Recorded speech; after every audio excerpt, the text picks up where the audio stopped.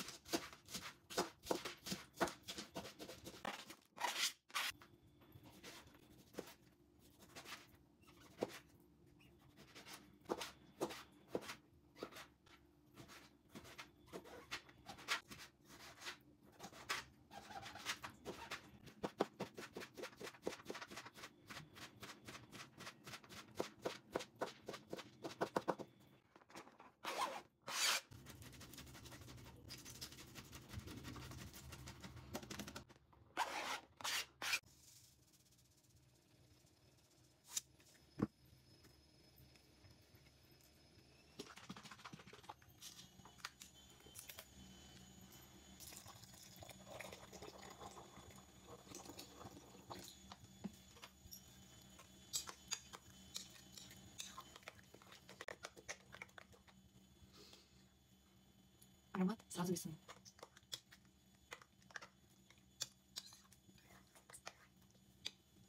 Вот такая красота у нас получилась. Всем приятного аппетита.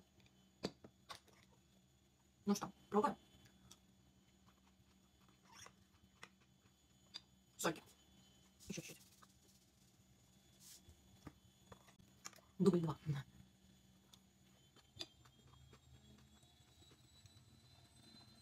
Теперь все в меру.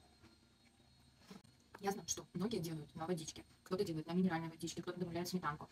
Мы любим все варианты, но самый-самый вкусный для нас это именно на кефире. Поэтому попробуйте приготовить, я уверена, что вам понравится. Всем приятного аппетита!